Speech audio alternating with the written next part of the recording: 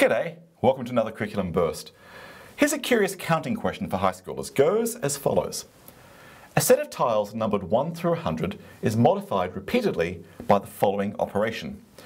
Remove all the tiles with a perfect square and renumber the remaining tiles consecutively by starting with 1. Okay? How many times must the operation be performed to reduce the number of tiles to a set of 1? Okay, I know I've read that out loud, and I probably read it in the way like I understood it. I didn't really take it in. I've got to go through this again slowly. A set of tiles are numbered 1 through 100. That's fine. So we've got the number, tiles 1, 2, 3, 4, da, da, da, da, 99, 100. Set of tiles numbered like that. What are we doing? We repeatedly do an operation, and the operation is remove all the tiles with a perfect square number. So step one is cut out the tiles with a perfect square number, 1, 4, 9, uh, 16, 25, up to 100. So get rid of all those guys, cut them out, and then renumber the remaining tiles consecutively, consecutively by starting with 1.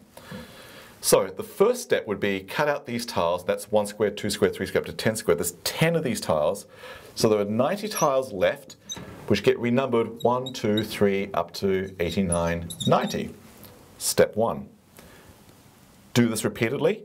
Keep going and see how many times you go to all the way to get to just a set of one tile. Okay, so apparently I keep doing this operation and I'll end up with one tile in the end. And the question is, how many times? Yep, how many times to do this step? I've done it once. Well, let's do it a second time. The second time I'm going to cut the tiles 1, 4, 9, 16, up to, what square number did I get up to? Um, 81. 81. Uh, that means I'm cutting, what, 9 tiles? So I've got 90 tiles to begin with. Now I'm going to have 81 tiles. 1, 2, 3, up to 81. Step 2 leaves me with 81 tiles.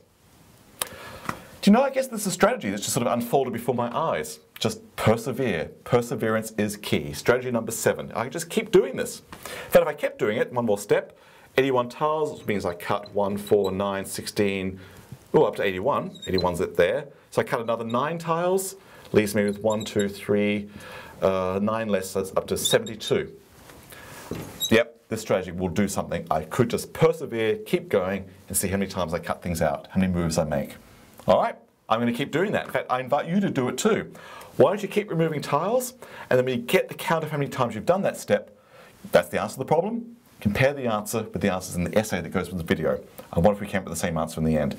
By the way, I think there's a very curious algebra, algebra surprise in this question. So really do look at that essay. There's a nice little twist to go with it.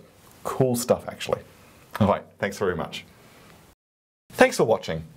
For more curriculum inspirations material, go to our website. Lots of great stuff there.